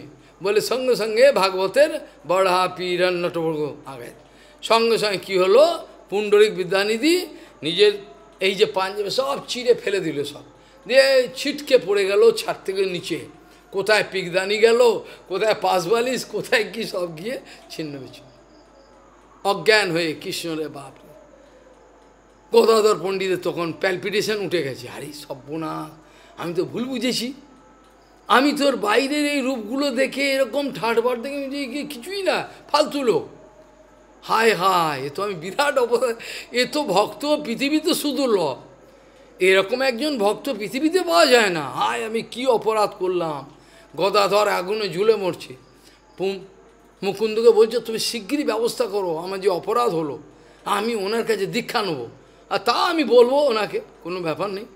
গিয়ে মুকুন্দ গিয়ে বলল, মুকুন্দ গিয়ে পুণ্ড যে এসেছিল আমার সঙ্গে, ও খুব ভালো ছেলে, আপনার সাথে বলে, আমার তো ভাগ্য, গদাধরের মতো শিষ্য পাবো। আহা হা নিয়ে এসো ওকে দেখ সেই এইভাবে অপরাধটা গেল। অপরাধ হয়ে গেছিল তো।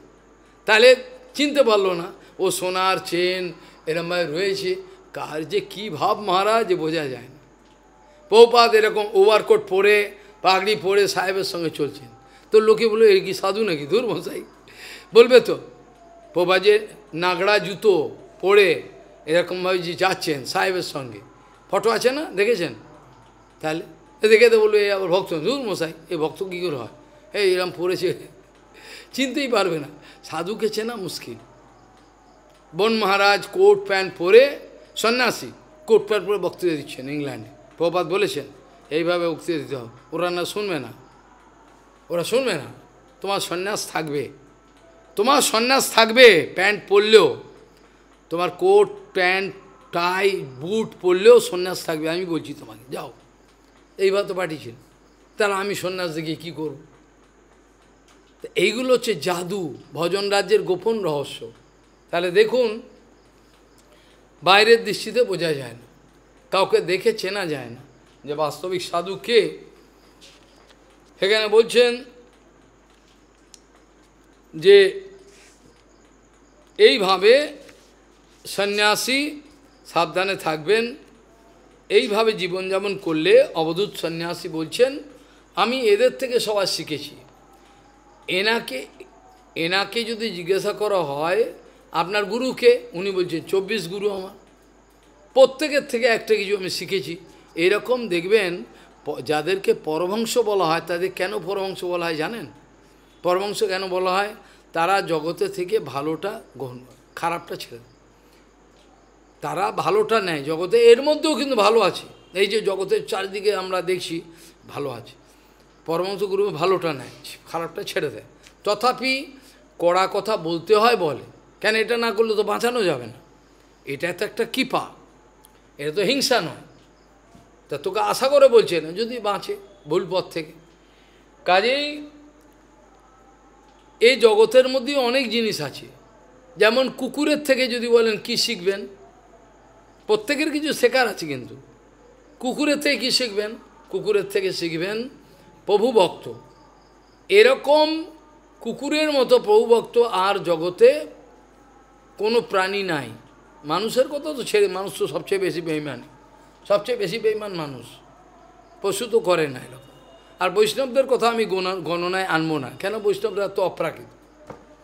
তাহলে জগতের মধ্যে সবচেয়ে যদি ফেথফুল প্রাণী থাকে বিশ্বাস রাখতে পারে, সে হচ্ছে কুকুর। আবার কুকুরের আলো আলো গুণ কি? খুব তাড়াতাড়ি ঘুমিয়ে যাবে, টক করে উঠে পড়বে। কুকুর ঘুমাচ্ছে কিন্তু টুক করে উঠে পড়বে। এটা সাধুদের শিখতে হয়। খুব ঘুমাবেন, টুক করে উঠে পড়বেন, তাড়াতাড়ি করে উঠে এবার ভজনের মন দেবেন। কুকুরের থেকে এগুলো শেখা। কোনো কুকুর রাস্তার একদিনে একটা বিস্কুট পায়, আর কোনোদিন কিছুই পেল না। আরামে থাকে। আবার কোনোদিন বেশি করে খেয়ে নিল। কুকুর অল্প বেশি কোনোদিন এক পায় না। এটা তো ঘরের কুকুর নয়। ঘরের কুকুর হয়তো কেউ দিল, কেউ রাস্তার কুকুর কোনোদিন একটা বিস্কুট আর কিছু পায় না। কে দেবে রুটি? কে দেবে অন্য কখনো আবার কোনোদিন খেয়ে নেয় বিস্কুট। তো অল্প বা বেশি যা পায় খুশি হয়ে খেয়ে নেয়। এইরকমভাবে এইরকমভাবে সে সঙ্গ করে, জীবনযাপন করে। করে সে জীবনযাপন করে। কাকের থেকে কি শেখার আছে? কাকের নোংরা চরিত্র দেখে আপনি শিখতে পারবেন। গৃহস্থ ব্যক্তির এরম স্বভাব, কাকের মতো। ঝ্যাঁটার কাটি নোংরা কি আরে, এটাও সংসার চালাতে গেলে লাগে। সব এসে এসে রাখছে, জড়ো করছে। কালকে যে ঘাটে যাবে, এটা খেয়াল নেই। সব রাজ্যের জিনিস এনে জড়ো করছে। রাগ রাগ, এসব জড়ো কাক যেমন করে, কাকের চালাকি দেখে শিখতে হয়। যে আমি যেন কাকের মতো চালাক না হয়। কাকে যা কাক চালাক, কিন্তু খেয়ে মারে গু। কাক কিন্তু বেশি চালাক। আমরা কাকের মতো চালাক হতে চাই না। কাজেই সব প্রাণীর থেকেই শিখতে হয়, প্রত্যেক প্রাণীর থেকে। শেখবার আছে। তারপর বলছেন, অবধূত সন্ন্যাসী বলছেন, পূর্বের তো কথা আমি বলে দিয়েছি। সুদুঃখোপার্জিতৈর বৃত্তৈর রাসাসনাম গৃহাশীষো মধুহেবাগ্রত ভুংতে ইয়তির বই গৃহমেধিনাম। অর্থাৎ বলছেন, লুব্ধ ব্যক্তি যেমন সঞ্চয় করে রাখে লোকে আসে ভোগ করে নিয়ে চলে যায়। যেমন মধুমক্ষিকা রাখে আর অপরে নিয়ে যায়, সেই জন্য কল্যাণকামী গৃহস্থগণের সুখ দুঃখ পরিচিত বৃত্ত দ্বারা, সেই জন্য স্বীয় কল্যাণকামী নিজের যে, স্বীয় কল্যাণকামী মানে যে নিজের কল্যাণ, বাস্তবিক মঙ্গল চান কল্যাণকামী গৃহস্থগণের সুখ দুঃখ উপার্জিত বৃত্ত দ্বারা সিদ্ধ অন্যাদি মধুকরের ন্যায় জ্যোতি ব্যক্তি অগ্রে ভোজন করবেন। অর্থাৎ যেসব ব্যক্তি সংগ্রহ আদি করে, তাদের তো এক অন্য লোকে নিয়ে যেতে পারে। আর যদি কল্যাণকামী গৃহস্থ হয়, তিনি কি করবেন?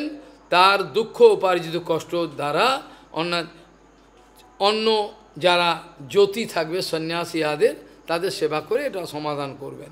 এর মধ্যে স্বীয় কল্যাণকামী গৃহস্থগণের সুখ দুঃখ, যেসব গৃহস্থগণ নিজের মঙ্গল চান, তাদের মঙ্গল বিধান করার জন্য সাধু গিয়ে তাদের থেকে মধু করে নিয়ে আসবেন। ইচ্ছে করে যাবেন, এর মঙ্গল করার জন্য। সুখদেব গোস্বামী যেতেন, তিনটে বাড়িতে যাবেন কেউ দেখল তো দিল কিছু? কিছু মানে দুধ ছাড়া নেন না। আর যদি সেদিন কেউ দরজাও খুললো না, কিছু বললও না, আমি চলে এলাম। দরজা খুললো না। দরজা খুললই না। তিনি গিয়ে দাঁড়াবেন কিছু ডাকবেন না, দাঁড়াবেন। যদি কিছু সময় দাঁড়াবেন, তার মধ্যে যদি দরজা খুলে কেউ দেখে, তাকে দুধ দিল দিল, আর নালে হয়ে এটাকে বললে ভিক্ষা মাধুকর এই মাধুকরী ভিক্ষার প্রসঙ্গে মনে পড়ে যায়, ব্রজমণ্ডল জঙ্গলে পরিক্রমা করতে করতে একবার সন্ত গোস্বামী মাঝে একজন সন্ন্যাসী ছিল, গিরি তার নাম। কোথায় থাকেন, কি করেন কিছু জানি না। সেই আমার সঙ্গে বলছে, আপনার সঙ্গে আমি এগোবো। আমি তাহলে এগো কোনো অসুবিধা নেই, জুটে গেছে রাস্তায়। এবার গিয়ে একাদশী পরের দিন দ্বাদশী, এর শরীর খারাপ কোনো দিন হয়নি, একটা পিঁপড়েও কামড়ায়নি। এত ব্রজমণ্ডল পরিক্রমা, জঙ্গলে জঙ্গলে ঘুমিয়েছি যেখানে সাপে ভর্তি। একটা পিঁপড়ে পর্যন্ত কামড়ায়নি কোনো কামড়ায়নি, ভগবানের কৃপা। তো সেদিন ও ভিক্ষা কর, আমি চলো, দেখি আমি ভিক্ষা করি। কশিকলার যেখানে শেরগড় থেকে কশিকলা, সেখানে গিয়ে তারপর দাউজির রাসস্থলীতে যাব। এবার সেখানে ভিক্ষা করতে হবে। নাহলে মাদুকুরি না করলে তো মুশকিল, পারণ নষ্ট হয়ে যাবে। তো দরজাগুলো বন্ধ ব্রজবাসীর। কয়েকটা দরজা খোলা, তো আমার মন বলছে না এই বাড়িতে যাও। একটা দরজা বন্ধ, অথচ আমার মনে বলল এই বাড়িতে যাও। কেন বলল আমি জানি না। আরও অন্য বাড়ি আছে, প্রচুর বাড়ি যেখানে দরজা খোলাও রয়েছে, তাদের কাছে আমার ইচ্ছা হলো না।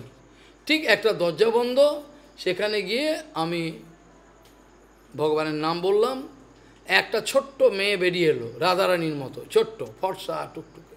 বেরিয়ে এলো, বাবা, ক্যা হ্যাঁ কী চাই তোমার? বলল, ব্রজ ভাষায় বলল। আমি বলল লালি, তোর প্রসাদ যদি থাকে। আমি ওদের ভাষায় বললাম, বলে হ্যাঁ ঠিক এসো। বলে, ওই সন্ত মহাজের শিষ্য, ওই ও বসল, আমিও বসলাম, আর লালি ওখানে। যেমন পুরো রাধারানী, আমি ভুলতে পারি না। সে এখানে রুটি দিতে আরম্ভ করল, খেতে দিল, সব কিছু আবার বলছে, ঝিক্কে খাইও মানে পেট ভরে খেয়েও লজ্জা করো না, আমাদের আছে আরও আমিও অবাক। হেলো পেয়ে সেখানে গেলাম। এটা মনে আছে। কে মাধুগুরি ভিক কেন ওই বাড়িটাই আমার ধক্কা, অনেক বাড়ি ছিল। কপাল, এটা ভগবান প্রেরণা দিয়েছেন। তা সেই জন্য এখানে দেখে গেল সুদুঃখোপার্জিত্বৈর বিত্বৈর আশাসনাম গৃহাশিষা মধুহা ওয়াগ্রত ভুংতে যতির্বৈ গৃহমেধিনাম অর্থাৎ যারা বাস্তবিক সন্ন্যাসী ত্যাগী, তারা গৃহস্থের মঙ্গলের জন্য অবশ্যই মাদুগুরি করবেন। অবশ্য যে কোনো নোংরা জায়গায় নয়, বুঝে শুনে।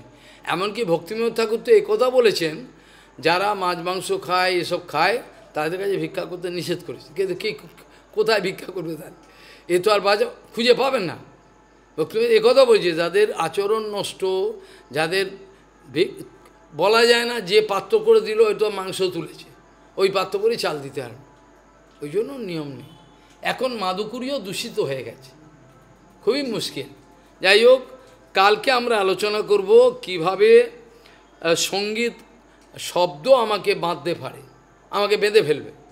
আমাকে ফেলে দেবে মৃত্যু মুখে এটা কালকে এ সম্বন্ধে অবধূত সন্ন্যাসী কী বলেছেন আমরা আলোচনা করব আজকে এই পর্যন্ত থাক আলোচনা বিশেষ কিছু করে তো লাভ হচ্ছে সেখানে বলছেন অথাপিতে পদাম্বুজদ্বয় প্রসাদ লেশ অনুগৃহীত এবহি জানাতি তথ্যম ভগবান মহিম্নো न च एकोपि चिरन विचिन्वन वाछकल्पदुर से कृपा सिंधु पतितानंग पावने भो वैष्णवभ्यो नमः